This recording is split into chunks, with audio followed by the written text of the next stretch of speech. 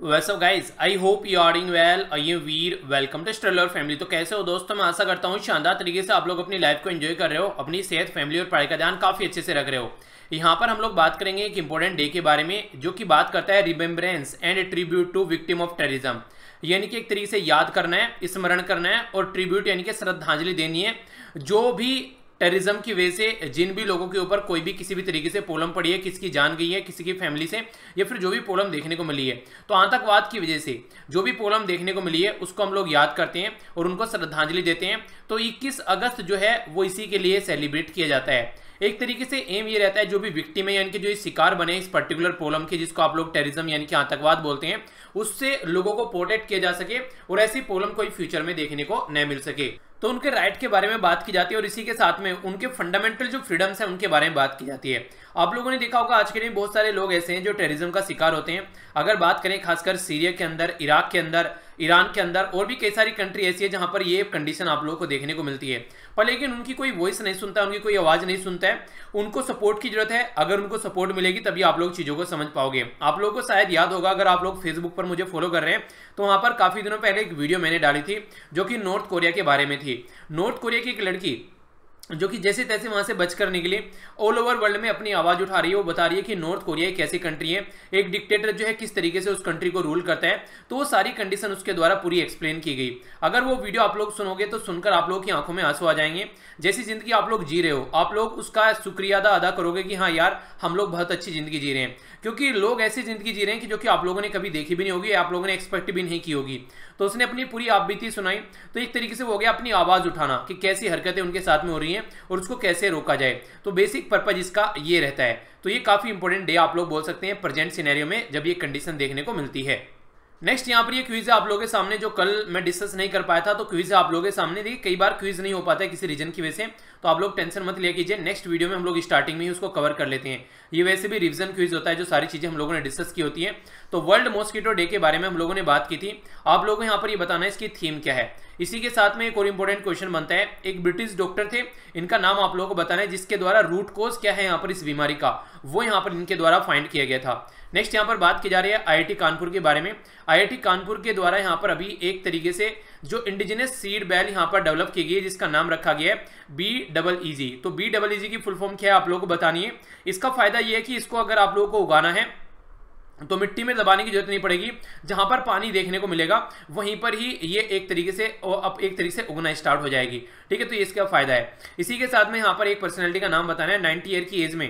अभी इनकी डेथ हुई क्लासिकल वोकलिस्ट थे यहाँ पर ये, जो कि मेवाती घराना से बिलोंग करते थे। तो इनका नाम आप लोगों को पता होना चाहिए। इंडियन रेलवे के द्वारा यहाँ पर अभी वर्ल्ड का टोलेस्ट जो घाट ब्रिज बनाने की बात की जा रही है मणिपुर में, ठीक है? आप लोग यहाँ पर ये बताना है किस रिवर के ऊपर यहाँ पर ये बनाया जा रहा है, या फिर किस घाट जहाँ से ये रिवर होकर गुजरती है। एनटीपीसी के बारे में बात की जा रही है इंफ्रास्ट्रक्चर डेवलप की जा रही है इसके द्वारा Rihand super thermal power station तो कहाँ पर ये डेवलप किया जा रहा है? इसमें क्या होगा? बेसिकली जो एस होती है, यानी कि जो यहाँ पर जो आग की जो राख बचती है, उसको यूज़ किया जाएगा सीमेंट बनाने में। ठीक है? चीपर कॉस्ट पर। तो ये जो न्यूज़ है, ये मैंने आप लोगों से कल डिस्कस नहीं की थी। आज इसको डिस्कस करूँगा अटेम्प्ट कीजिए, वरना आंसर तो मैं आप लोगों को बताऊँगा ही। एनटीपीसी जो है, एक सेंट्रल पीएसयू है, यानी कि पब्लिक सेक्टर अंडरटेकिंग है। ये बताना है किस मिनिस्ट्री के अंडर में आता है। इसी के साथ में यहाँ पर बात की जा रही है। एक एस्टिमेशन आप लोगों को बताना है कि कितने मिलियंस जो गर्ल्स हैं, उनकी 18 साल से कम एज में ही उनकी शादी हो जाती है। ये आप लोगों को बताना है, क्योंकि याद होगा, हम लोगों ने आर्टिकल डिस्कस किया था कि लड़का और लड़की की एज जो है वो समान होनी चाहिए ट्वेंटी ईयर एज नॉर्मली 18 साल लड़कियों की रखी गई है, पर उससे भी पहले लड़कियों की शादी कर दी जाती है, जो कि सही नहीं है। तो इसके बारे में हम लोगों ने डिस्कस किया था, और किसके द्वारा ये बात बोली गई, ये भी आप लोगों को बताना है। Price monitoring and resource unit के बारे में हम लोगों ने बात की थी, ठीक है? तो ये आप लोगों को बताना है कौन से राज्य के द्वारा यहाँ पर अभी नेशनल फार्मास्यूटिकल जो कि हमारी कंट्री में एक प्राइसिंग ऑथोरिटी है, ये डिपार्टमेंट ऑफ़ फार्मास्यूटिकल कौन सी मिनिस्ट्री के अंडर में आती है, जो कि अगर कोई भी दवाइयाँ हैं, उनके प्राइस के बारे में बात करती है। तो इसके बारे में आप लोगों को यहाँ पर बताना है, ठीक है? आगे चलते हैं। नेक्स्ट यहाँ पर आप लोगों के सामने क्वेश्चन के आंसर है, अच्छे से देखिए। सबसे पहले मॉस्किटो डे के बारे में हम लोगों ने बात की थी तो मलेरिया इसकी थीम रखी गई अब की बार जो टॉपिक है। और सर रोनाल्ड रोज जो है यहाँ पर ये पर्सनैलिटी थे जिनके द्वारा इस बीमारी के बारे में पता लगाया गया था। आईटी कानपुर के बारे में हम लोगों ने बात की, यहाँ पर इसके द्वारा बी डबल ईजी के बारे में बात की गई, जिसको बायो कम जिसको बोला गया यहाँ पर bio compost enrich eco friendly global ठीक है? तो ये आप लोग याद रखिएगा, जिसके बारे में हम लोगों ने बात की थी, ठीक है? तो क्वेश्चन बन सकता है आप लोगों से बी डबल ईजी क्या है, ठीक है? तो ये इंपॉर्टेंट है यहाँ पर, ये किसानों को फ़ायदा पहुँचाने वाला है। पंडित जसराज साहब जो हैं, जिनकी रिसेंटली अभी डेथ हुई, ये मेवाती घराने से बिलोंग करते हैं। इंडियन अगर रेलवे के बारे में आप लोग बात करते हैं तो यहाँ पर इसके द्वारा जो ब्रिज बनाया जा रहा है, ये है यहाँ पर इजाई। इजाई है यहाँ पर मणिपुर के अंदर, जो इजाई रिवर है, उसके ऊपर ये ब्रिज बनाया जा रहा है। नेशनल, ये नेशनल थर्मल पावर कॉर्पोरेशन जो लिमिटेड है, यहाँ पर इसके बारे में बात की जा रही है। तो Rihand super thermal power station आप लोग को देखने को मिलेगा, जो कि उत्तर प्रदेश के अंदर है, ठीक है? इसी के साथ में एनटीपीसी के बारे में बात की जा रही है तो पीएसयू जो है यहाँ पर, जिसको आप लोग देखने को मिलेगा यहाँ पर एनटीपीसी के बारे में बात की जा रही है तो पीएसयू यहाँ पर ये मिनिस्ट्री ऑफ़ पावर के अंडर में आता है, ठीक है? तो याद रखना इसके बारे में। नेक्स्ट यहाँ पर 1.5 मिलियन जो लड़कियाँ ऐसी हैं मोटे मोटे तौर पर बताऊँ, अगर आप लोगों को 15 लाख लड़कियाँ ऐसी हैं, जिनकी शादी 18 साल से पहले हो जाती है तो ये जो डेटा है, ये बताया गया यहाँ पर यूनिसेफ के द्वारा। और ये डेटा ओनली इंडिया का है, भारत का है। बाकी ऑल ओवर वर्ल्ड में आप लोग सोच सकते हैं, फिर ये अभी इंडिया के डेटा के बारे में बात की जा रही है। तो ये डेटा आप लोग मेंशन कर सकते हैं, अगर कहीं पर वुमेन इंपावरमेंट के बारे में आप लोग को बात करनी है तो यूनिसेफ का नाम लेके आप लोग वहाँ पर बातें बता सकते हैं। कर्नाटका के बारे में बात की जा रही है तो price price monitoring and resource जो यूनिट है, कर्नाटका के द्वारा यहाँ पर सेटअप की जा रही है ताकि जो दवाइयाँ हैं उनके प्राइस को मेंटेन रखा जा सके और कोई प्रॉब्लम वहाँ पर देखने को न मिले, ठीक है? तो इसके बारे में एक हल्का सा आइडिया ज़रूर रखिएगा। आइए अब आगे चलते हैं न्यूज़ देखते हैं एक एक कर सबसे पहले जो न्यूज़ निकल कर आ रही है, एक इंपॉर्टेंट पर्सनैलिटी से रिलेटेड है और ये पर्सनैलिटी पहले भी काफ़ी ज़्यादा न्यूज़ में थी, जब आप लोगों को याद होगा सीबीआई के बारे में बात की जा रही है सीबीआई के डायरेक्टर के बारे में। तो राकेश अस्थाना से रिलेटेड यहाँ पर केस था, जो कि उस टाइम पर काफ़ी ज़्यादा प्रॉब्लम देखने को मिली थी, जब इनको सीबीआई का डायरेक्टर अपॉइंट किया गया था। तो अभी यहाँ पर 1984 के जो बैच के आईपीएस ऑफिसर है, गुजरात कैडर कैडर के, इनको director general of border security force यानी कि बीएसएफ का डायरेक्टर जनरल बना दिया गया नाम इनका राकेश अस्थाना, ठीक है? तो नाम याद रखेगा according to personal according to जो पर्सनल मिनिस्ट्री है, यहाँ पर उसके द्वारा ऑर्डर इशू किया गया। थर्टी फ़र्स्ट जुलाई 2021 तक यहाँ पर ये ये पोस्ट पर यहाँ पर रहने वाले हैं, ठीक है? ये इस पोस्ट पर रहेंगे यहाँ पर, जो कि इस पोस्ट को पर्टिकुलर देखिए, होता क्या नॉर्मली जो बीएसएफ है ना, वो एक बिल्कुल अलग फोर्स हो गई। नॉर्मली कई बार उनके द्वारा गुहार लगाई जाती है कि आईपीएस ऑफिसर जो हो गया, वो एक अलग सर्विस से निकल कर आता है और हमारे ऊपर आकर बैठ जाता है। तो कई बार ये वो बोलते हैं कि हमारी ही जो फोर्स होती है, जैसे असिस्टेंट कमांडेंट का एग्ज़ाम देते हैं तो उनको हमारे ऊपर बैठाना चाहिए क्योंकि वो जानते हैं हमारी सर्विसेज़ कैसी चल रही है। पर लेकिन यहाँ पर क्या होता है? सिविल पोस्ट की जो है, उनको यहाँ पर वरीयता दी जाती है। जिसके बारे में कई बार बातें भी की जा चुकी हैं। मिस्टर स्थाना जो है, वो प्रेजेंटली वर्क कर रहे हैं director general of bureau of civil aviation security ठीक है? इसी के साथ में यहाँ पर ये एडिशनल जो चार्ज इनके पास में रहने वाला है, ये नार्कोटिक्स जो नार्कोटिक्स कंट्रोल ब्यूरो का, और बॉर्डर सिक्योरिटी फोर्स जो है, ये प्राइमरी हमारी कंट्री में बॉर्डर गार्डिंग फोर्स है, जो खासकर, जो पाकिस्तान के साथ में जो बॉर्डर है, उसके ऊपर फोकस रहता है। फ़र्स्ट लाइन डिफेंस प्रोवाइड कराती है। आप लोगों को याद होगा बॉर्डर मूवी आप लोगों ने देखी है शायद अगर नहीं देखी है तो आप लोगों ने इसको देखेगा तो नोटिस कीजिएगा। जब बॉर्डर मूवी में जब सुनील शेट्टी रहता है, वो बीएसएफ का जवान रहता है। और वहाँ पर जब हटाने की बात की जाती है कि बॉर्डर पर जो प्रॉब्लम हो चुकी है और फिर सनी देवल वहाँ पर उसको टेक ओवर करने के लिए आते हैं तो उस टाइम पर जो बीएसएफ है, उसको पीछे हटा दिया जाता है, क्योंकि मेन लड़ाई आर्मी के द्वारा लड़ी जाती है और बीएसएफ तब तक वहाँ पर होती है जब तक सिक्योरिटी प्रोवाइड करानी है। बीएसएफ लड़ाई करने के लिए नहीं होती है। लड़ाई करने की जब बात आती है, तब हमारी आर्मी आती है बॉर्डर एरिया में। तो इसलिए वहाँ पर जो बॉर्डर सिक्योरिटी फोर्स इसलिए नाम रखा गया। बॉर्डर की सिक्योरिटी प्रोवाइड कराएगी, पर लेकिन अगर फेस टू फेस वॉर हो गई है तो फिर हमारी आर्मी आ जाएगी। तो यहाँ पर यह बात याद रखिएगा। यूनियन गवर्नमेंट एजेंसी के बारे में अगर बात करें तो मिनिस्ट्री ऑफ़ होम अफेयर के अंडर में आप लोग को एजेंसी देखने को मिलेगी। कुछ इंपॉर्टेंट बातें मैं आप लोगों को यहाँ पर इसके बारे में शेयर करता हूँ। जैसे कि हम लोग अगर बात करें हमारी कंट्री में, सेंट्रल आर्म फोर्सेज के बारे में, जिसको आप लोग सी भी बोलते हैं, जिसका एक अलग से एग्ज़ाम जो कंडक्ट कराया जाता है असिस्टेंट कमांडेंट का, और बाकी जो एसएससी कंडक्ट कराते हैं यहाँ पर जो लोअर पोस्ट के लिए। तो टोटल मिलाकर सात recognise central arm police force है हमारी कंट्री में। बीएसएफ बॉर्डर सिक्योरिटी फोर्स एक हो गई। इसके अलावा Assam rifle central industrial security force जिसको सीएसएफ बोलते हैं आप लोग सेंट्रल रिज़र्व पुलिस फोर्स इसी के साथ में Indo Tibetan border police next यहाँ पर नेशनल सिक्योरिटी गार्ड और नेक्स्ट यहाँ पर शस्त्र सीमा बल। तो टोटल मिलाकर ये सात हमारी कंट्री में सीएपीएफ फोर्स की कैटेगरी में आती है।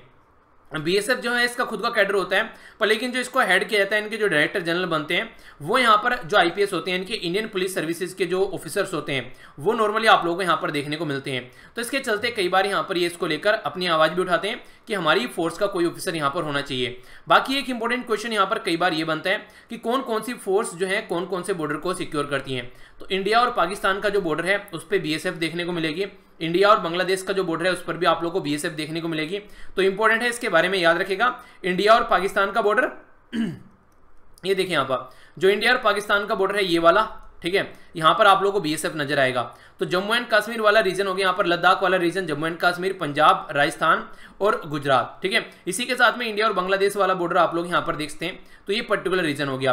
तो इनमें आप लोग कौन देखने को मिलेगा? इनमें आप लोग को बॉर्डर सिक्योरिटी फोर्स देखने को मिलेगी दोनों जगह। इंडिया और चाइना के बॉर्डर पर कौन है? इंडो तिब्बतन पुलिस जिसको आईटीबीबी के नाम से आप लोग जानते हैं। तो इंडिया और चाइना के बॉर्डर कहाँ पर है? ये हो गया इंडिया और चाइना का बॉर्डर आप लोग यहाँ पर देखने को मिलेगा, नेपाल के अंदर नहीं, ठीक है। तो आईटीबीपी यहाँ पर आप लोगों को नॉर्मली नज़र आएगी।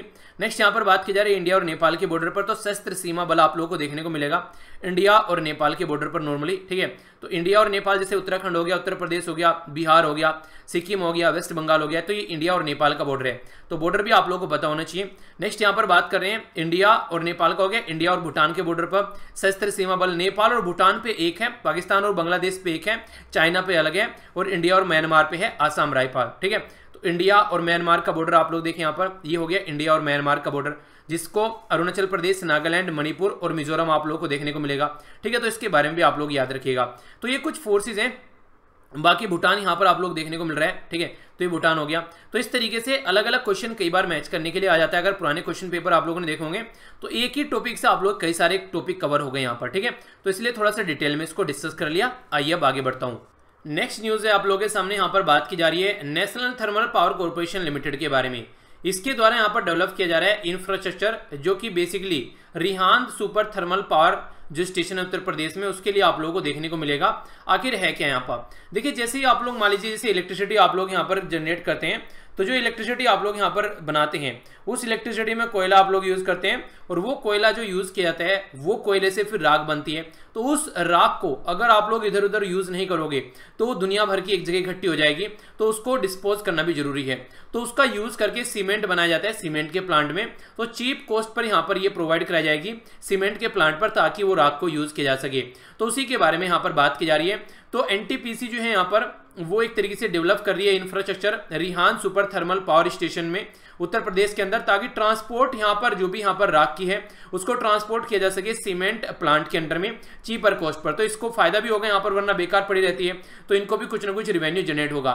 एनटीपीसी एक तरीका सेंट्रल पीएसयू है, जो कि मिनिस्ट्री ऑफ़ पावर के अंडर में आता है, और कंट्री में लार्जेस्ट पावर जनरेशन कंपनी है। यानी कि हमारी कंट्री में सबसे ज़्यादा पावर जनरेट की जाती है, वो एनटीपीसी के द्वारा जनरेट की जाती है। इनेबल करते हैं power plant for upgrading utility यानी कि इनेबल करेंगे पावर प्लांट को ताकि जो फ्लाई एस है, यानी कि जो ये जो ये राख है, उसको यूज़ किया जा सके। और इसी के साथ में 100 परसेंट जो यूटिलाइजेशन ऑफ़ जो यहाँ पर राख का होगा, ये पावर प्लांट में उसको यूटिलाइज किया जाएगा। अगर बात करें फाइनेंशियल ईयर 2019-20 के लिए ऑलमोस्ट अगर बात की जाए ऑलमोस्ट यहाँ पर ये 44.33 मिलियन टन इतनी राख इकट्ठी हो गई, जिसको अलग अलग प्रोडक्टिव पर्पज के लिए यूटिलाइज किया गया। तो इससे आप लोग समझ सकते हैं, कई जगह ईंट बनाने के लिए, कई जगह सीमेंट बनाने के लिए, कई जगह रोड बनाने के लिए इसका यूज़ किया जाता है। Rihand super thermal power project जो है वो कोल बेस्ड पावर प्लांट है, जिसमें यहाँ पर ये काफ़ी ज़रूरी है कि इसको यूज़ किया जाए। कोल कहाँ से आते हैं यहाँ पर? ये है अमलोरी और इसी के साथ में दुधीचुआ। माइन्स यहाँ पर है जहाँ से ये कोल लाया जाता है। वाटर सोर्स कहाँ है? रिहान रिज़र्व से यूज़ किया जाता है, जो कि सोन रिवर से निकल कर आता है। तो ये पर्टिकुलर जो न्यूज़ है, ये काफ़ी इंपॉर्टेंट है इंफ्रास्ट्रक्चर डेवलपमेंट के पॉइंट ऑफ़ से एनर्जी सिक्योरिटी के पॉइंट ऑफ़ से। तो ये सारी चीज़ें आप लोगों को यहाँ पर इकट्ठी एक जगह देखने को मिल जाती है, ठीक है? तो यहाँ पर याद रखेगा, जो हमारी कंट्री में जो पी हैं पावर से रिलेटेड वो मिनिस्ट्री ऑफ़ पावर के अंडर में आते हैं, ठीक है? आगे बढ़ता हूँ। नेक्स्ट न्यूज़ है आप लोगों के सामने, यहाँ पर बात की जा रही है कुछ पर्टिकुलर प्रोजेक्ट्स के बारे में। आप लोगों ने देखा 1973 में हमारी कंट्री में इंदिरा गांधी जी के टाइम पर प्रोजेक्ट टाइगर स्टार्ट किया गया था। ताकि जो टाइगर की पॉपुलेशन है, उनको प्रोटेक्ट किया जा सके और ज़्यादा बढ़ाया जा सके। तो उसी के चलते प्रोजेक्ट टाइगर जो आगे चलकर काफ़ी सक्सेसफुल रहा और लगभग तीन हज़ार के करीब हमारी कंट्री में आज के डेट में टाइगर आप लोगों को देखने को मिलते हैं। इसी पैटर्न पर प्रोजेक्ट एलिफेंट स्टार्ट किया गया था। पर लेकिन अभी रिसेंटली दो नए मिशन स्टार्ट किए गए हमारी कंट्री में। एक है प्रोजेक्ट डोल्फिन और दूसरा है प्रोजेक्ट लोयन इन दोनों प्रोजेक्ट के टैगलाइन पर, जैसे यहाँ पर इनको स्टार्ट किया गया था। तो इस तरीके से आने वाले टाइम में हमारी कंट्री में प्रोजेक्ट डोल्फिन और प्रोजेक्ट लोयन को भी उसी तरीके से फोकस देकर चला जाएगा। जैसे कि प्रोजेक्ट टाइगर और प्रोजेक्ट एलिफेंट को करेक्ट किया गया आगे फॉरवर्ड प्रोजेक्ट डोल्फिन के बारे में बात करें तो गंगेटिक डोल्फिन जो कि गंगा रिवर के अंदर आप लोगों को डोल्फिन देखने को मिलती है नॉर्मली उसको हमारी कंट्री में नेशनल एक्वेटिक एनिमल यानी कि हमारी कंट्री का जो जलीय प्राणी है, उसकी कैटेगरी में रखा गया था 2010 में। ये गंगा ब्रह्मपुत्र रिवर में पाई जाती है। इसी के साथ में जो ट्रिब्यूटरीज है यहाँ पर इंडिया, बांग्लादेश और नेपाल के अंदर, ये नॉर्मली डॉल्फिन आप लोगों को देखने को मिलती है। ये फ्रेश वाटर और जो मैरिन वाटर है ओशियन वाला वाटर दोनों जगह आप लोग को देखने को मिलती है, ठीक है? नेक्स्ट बात करते हैं यहाँ पर प्रोजेक्ट लोयन के बारे में। तो एशियाटिक जो लोयन होते हैं, उनके बारे में बात की जाती है तो प्रोटेक्टेड एरिया के अंदर पाए जाते हैं। एग्रो, जो पास्टोरल जो लैंड है उसके अंदर पाए जाते हैं, जैसे सौराष्ट्र वाला रीजन हो गया, गुजरात के अंदर में, ठीक है? नेक्स्ट यहाँ पर एडिशनल कंपोनेंट जो आप लोगों को देखने को मिलेगा इंफ्रास्ट्रक्चर रिक्वायरमेंट होगी टेक्नोलॉजी इसी के साथ में एक्सपर्ट जो होंगे यहाँ पर, जो इस पर्टिकुलर एरिया में काम करते हैं कंजर्वेशन करने के लिए प्रोवाइड कराएँगे इन्फॉर्मेशन और वर्ल्ड स्टैंडर्ड केयर और हेल्थ मैनेजमेंट भी यहाँ पर देखने को मिलेगा इन जानवरों का। देखिए, अगर कोई भी चीज़ आप लोग अच्छा करना चाहते हैं ना तो चहुमुखी विकास आप लोगों को करना पड़ेगा। यानी कि चारों डायमेंशन में आप लोगों को सोचना पड़ेगा। अगर आप लोग चाहते हैं अच्छी तरह से पढ़ाई करें तो इसका मतलब ये नहीं कि बस 24 घंटे किताब लेकर बैठने से पढ़ाई हो जाएगी। आप लोगों को ये देखना पड़ेगा आप लोगों की हेल्थ कैसी है। आप लोगों को ये देखना पड़ेगा आप लोगों का मेंटल लेवल कैसा है। यानी कि अपने माइंड को शांत रखना पड़ेगा, अपनी हेल्थ पर फोकस देना पड़ेगा। इसी के साथ में आप लोग जहाँ पर बैठकर पढ़ते हैं, वो एक अच्छा इन्वायरमेंट होना चाहिए पढ़ाई का ताकि आप लोगों का माइंड जो है पढ़ने को करे। वरना ऐसा रहेगा कि यार उस रूम में घुसने का मन नहीं करेगा वहाँ पर तो ऐसा माहौल रहता है। तो ये सारी चीज़ें मिलकर अगर आप लोग काम करेंगे तो आप लोग एक अच्छी पढ़ाई कर पाएँगे। और कहीं ना कहीं इससे भी सबसे ज़्यादा जो ज़रूरी होता है वो है मजबूरी, यानी कि क्यों आप लोग पढ़ रहे हैं? आप लोगों की कई सारे लोग मजबूरी की वजह से पढ़ते हैं, कई सारे लोग मन लगाकर पढ़ते हैं। मजबूरी नहीं, बस उनको ऐसा होता है कि ये काम करना है। तो किस कैटेगरी में आप लोग आते हैं? तो वो भी एक बहुत बड़ा फैक्टर होता है, जो आप लोग को बताता है कि किस डायरेक्शन में आप लोग जाएँगे। तो सारी चीज़ें काउंट करने के बाद में एक अच्छा रिज़ल्ट आता है, ठीक है? तो ये सारी चीज़ें हैं जो आप लोग याद रख सकते हैं। आगे बढ़ते हैं। नेक्स्ट न्यूज़ है आप लोगों के सामने, यहाँ पर बात की जा रही है। ये है एक पर्टिकुलर पर्सनैलिटी जिनका नाम है सोमिया स्वामीनाथन। सौम्या स्वामीनाथन आप लोगों को याद होगा, जब यहाँ पर इनको चीफ साइंटिस्ट अपॉइंट किया गया था वर्ल्ड हेल्थ ऑर्गेनाइजेशन पर, उस टाइम पर ये काफ़ी ज़्यादा न्यूज़ में थी। और एक और न्यूज़ में रहने का रीजन इनका है, वो है M S Swaminathan. M S Swaminathan हमारी कंट्री में काफ़ी इंपोर्टेंट पर्सनैलिटी है, जिनको एग्रीकल्चर साइंटिस्ट आप लोग बोलते हैं तो उन्हीं की पुत्री है ये, जिनका नाम है सौम्या स्वामीनाथन। सौम्या स्वामीनाथन आज के डेट में चीफ साइंटिस्ट है वर्ल्ड हेल्थ ऑर्गेनाइजेशन में, और इनके द्वारा यहाँ पर तमिलनाडु की काफ़ी हेल्प की गई है कोविड नाइन्टीन के साथ में लड़ने में ड्यूरिंग पेंडेमिक तो उसी के बारे में यहाँ पर बात की जा रही है कि जो तमिलनाडु की जो चीफ मिनिस्टर हैं, उनके द्वारा स्पेशल अवार्ड यहाँ पर रिकॉग्नाइज किया गया है, जिस तरीके से इनका रोल रहा कोविड नाइन्टीन के साथ में लड़ने में। वर्ल्ड हेल्थ जो रिप्रेजेंटेटिव है यहाँ पर, वो ऑफ़र करते हैं एक तरीके सजेशन स्टेट को हेल्थ डिपार्टमेंट को, ताकि क्या क्या मेजर्स हैं पेंडेमिक यानी कि जो महामारी है, उसके साथ में कैसे लड़ना है। तो ये काफ़ी बड़ा रोल रहता है। सौम्या स्वामीनाथन जो है, उनका 30 साल का एक्सपीरियंस है क्लिनिकल केयर और रिसर्च के अंदर में। और वर्क थ्रू हिज जो वर्क थ्रू हर कैरियर जो ट्रांसलेट इनके द्वारा किया जाए, जो रिसर्च है, वो इंपैक्टफुल प्रोग्राम आप लोगों को देखने को मिले। इसीलिए कोई पर्टिकुलर पर्सनैलिटी अगर किसी पर्टिकुलर पोस्ट पर बैठा है ना तो इसका मतलब यह है कि उसके अंदर कोई ना कोई तो क्वालिटी है, जो दूसरों के अंदर नहीं है, तभी वो इस पोस्ट पर पहुँचा है। जैसे आप लोग अगर किसी एग्ज़ाम को करेक्ट करके किसी पोस्ट पर पहुँचते हो, या फिर आप लोग कोई भी काम करते हो, मान लीजिए कल को आप लोग चलकर टीचिंग करने लगे, कल को आप लोग चलकर किसी पर्टिकुलर पोस्ट पर पहुँच जाए, ठीक है? तो वहाँ पर आप लोग पहुँचेंगे तो इसका मतलब ये कि आप लोगों ने एक पर्टिकुलर थ्रेसोल्ड को पार किया है, उस क्वालिटी को आप लोगों ने अचीव किया है, जो उसके लिए रिक्वायरमेंट थी। तभी आप लोग उस पोस्ट तक पहुँच पाए ठीक है? तो ये इसके बारे में आप लोग आइडिया रखेगा इंपॉर्टेंट है क्वेश्चन बन सकता है, किस तरीके से क्या क्या बातें हैं तो हल्का सा आइडिया होना चाहिए। अच्छा हमारी कंट्री में जो, हमारी कंट्री नहीं सॉरी वर्ल्ड में वर्ल्ड हेल्थ डे जो है, वो किस दिन सेलिब्रेट किया जाता है? ये आप लोग बताइएगा। कई बार वर्ल्ड हेल्थ ऑर्गेनाइजेशन के बारे में आप लोग को पढ़ाया तब इस क्वेश्चन को भी मैंने कवर किया था। आगे चलता हूँ। नेक्स्ट जो न्यूज़ है, यहाँ पर एक पर्टिकुलर पर्सनैलिटी के बारे में, और अगर आप लोग उत्तर प्रदेश से बिलोंग करते हैं तो ये न्यूज़ आप लोगों के लिए थोड़ी सी और ज़्यादा इंपॉर्टेंट हो जाती है। स्टेट पीसीएस में आप लोगों से क्वेश्चन पूछ ले जाते हैं, ठीक है? तो यहाँ पर बात की जा रही है फॉर्मर इंडियन क्रिकेटर और उत्तर प्रदेश के जो मिनिस्टर रह चुके हैं, चेतन चौहान। वो रिसेंटली अभी उनकी डेथ हो गई है मल्टीपल ऑर्गन फेलियर की वजह से। 73 ईयर के थे यहाँ पर ये। जो इनके द्वारा गेम खेला गया है, ये यहाँ पर लेट सेवेंटीज में इनके द्वारा गेम खेला गया। रेगुलर ओपनर प्लेयर थी सुनील गावस्कर साहब के साथ में, जब टेस्ट मैच हुआ करते थे। आगे चलकर इनको अर्जुन अवार्ड मिला 1981 में। नेक्स्ट यहाँ पर 2016 से लेकर 2017 तक ये चेयरमैन रहे एनआईएफटी यानी कि national institute of fashion fashion technology के। 1991 से लेकर 1998 तक दो बार ये लोकसभा के लिए चुने गए अमरोहा, उत्तर प्रदेश से। इसी के साथ में 2018 से लेकर 2020 तक ये minister for youth and sport रहे हैं उत्तर प्रदेश गवर्नमेंट के अंदर में, ठीक है? तो ये है यहाँ पर बेसिकली इनके बारे में न्यूज़ तो पर्सन स्पेसिफिक न्यूज़ कई बार पूछ ली जाती है तो पर्टिकुलर पर्सनैलिटी के बारे में थोड़ा सा आइडिया आप लोगों को होना चाहिए, ठीक है? आगे बढ़ते हैं। इंपॉर्टेंट न्यूज़ है क्वेश्चन बन सकता है, क्योंकि आज के डेट में आप लोग जानते हैं कि कई सारे ऑयल स्पिल देखने को मिलते हैं जब हम लोग ओशन के बारे में बात करते हैं। तो वहाँ से जो भी चीज़ें निकल कर आती हैं, उनसे रिलेटेड जो फ़ूड ओशन का यूज़ किया जाता है तो उसके बारे में भी कई बार न्यूज़ बन जाती है। तो यहाँ पर बात की जा रही है पर्टिकुलर जो मैरीन प्रोडक्ट्स हैं, उनके बारे में एक्सपोर्ट डेवलपमेंट अथॉरिटी तो इसको एम के नाम से आप लोग जानते हैं। ये बेसिकली ओपन की जाती है quality control laboratory coastal area में, इसके द्वारा ओपन किया गया ताकि कोस्टल एरिया में जो भी प्रोडक्ट निकाल के लाया जाता है, चाहे कोई मछली खाता है या फिर कोई केकड़ा खाता है, झींगे खाता है, जो कोस्टल एरिया से जो इकट्ठे किए जाते हैं सी फ़ूड जो भी होता है, उसकी क्वालिटी के बारे में यहाँ पर बात की जाती है, ठीक है? तो स्टेट का जो आर्ट ऑफ़ लेबोरेटरी है, उसके द्वारा कंफर्म किया गया प्रोडक्ट सेफ्टी को as per the international laboratory जो रिक्वायरमेंट है और एमपीईडी जो है वो कोऑर्डिनेट करती है, जो यूनियन मिनिस्ट्री ऑफ़ कॉमर्स है for central and state establishment engagement fishery production के बारे में यहाँ पर बात की जा रही है, और अलाइड जो भी एक्टिविटीज़ होती है। गुजरात रिलेटिवली लो इंस्टेंट आप लोगों को देखने को मिलेंगे एंटीबायोटिक रेजिड्यू के, इन सी फ़ूड के अंदर में। फिर भी, आज के डेट में कई सारे एरिया ऐसे देखने को मिलते हैं, कई सारे कंसाइनमेंट ऐसे आ जाते हैं, जिसमें हैवी मेटल देखने को मिलता है कैडमियम वगैरह। आप लोग ये सोचिए, मान लीजिए कोई आसपास में तालाब है, उसमें जो मछलियाँ पालन किया गया, और वो तालाब का पानी इतना गंदा है कि उसको एक तरीके से उसमें बदबू आती है। अब वो जो मछलियाँ उस पानी के अंदर में रह रही हैं तो वहाँ पर उस पानी के अंदर में रहते रहते उन मछलियों को। बेसिकली वहीं से पानी लेना है वहीं से ऑक्सीजन लेनी है। तो इस तरीके से उसी में उनका खाना पीना रहेगा। तो उनके अंदर भी ऐसे तरीके की चीज़ें आप लोगों को पहुँचती हुई नज़र आती है। तो इसलिए चेक करना ज़रूरी है काफ़ी ज़्यादा कि उसके फ़ूड के अंदर कोई गलत चीज़ें तो नहीं है। तो गुजरात के अंदर यहाँ पर इसको सेटअप किया जा रहा है ताकि क्वालिटी को कंट्रोल किया जा सके। अगर सी फ़ूड के बारे में हम लोग बात करें तो, तो इंपॉर्टेंट है थोड़ा सा आइडिया होना चाहिए आप लोगों को इसके बारे में। इंपॉर्टेंट न्यूज़ है थोड़ा सा डिटेल में जान लेते हैं। हालाँकि पहले भी इसके बारे में डिस्कस कर चुका हूँ। यहाँ पर नेशनल डिजिटल हेल्थ मिशन के बारे में बात की जा रही है, पर दूसरा एंगल है फ़िलहाल यहाँ पर। हमारी कंट्री में सेवेंटी फोर्थ जब इंडिपेंडेंस डे सेलिब्रेट किया गया तो उसके चलते हमारी कंट्री में ये एक नेशनल हेल्थ मिशन जो था बेसिकली डिजिटल फॉर्म में, इसको लॉन्च किया गया सिक्स यूनियन टेरेटरी के लिए। तो जो सिक्स जो ये बेसिकली अभी लॉन्च किया गया था पूरी कंट्री के लिए, पर सिक्स यूनियन टेरिटरी में इसको पायलट बेस पर इंप्लीमेंट किया जा रहा है। Chandigarh, Ladakh, Dadra and Nagar, Haveli and Daman and Diu. Pondicherry, Andaman, Nicobar और लक्षद्वीप। तो यहाँ पर इसको इम्प्लीमेंट किया जा रहा है। एम यही है कि जो सिटीजन है, उनके सामने जो भी बेसिकली राइट होता है कि उनको डॉक्टर मिलने चाहिए एक तरीके से प्रॉपर अपॉइंटमेंट होनी चाहिए और पेमेंट से रिलेटेड जो भी बात फ़ीस से रिलेटेड वो सारी बातें यहाँ पर देखने को मिलेगी। नेशनल हेल्थ अथॉरिटी जो है, जिसको एनएचए आप लोग बोलते हैं, ये अपेक्स एजेंसी हमारी कंट्री में रेस्पॉन्सिबल है इस पर्टिकुलर चीज़ को इम्प्लीमेंट करने के लिए। आयुष भारत प्रधानमंत्री जन आरोग्य योजना के तहत।